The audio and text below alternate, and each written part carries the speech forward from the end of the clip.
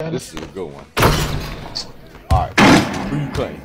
James Harden, Kawhi Leonard, Giannis, or AD?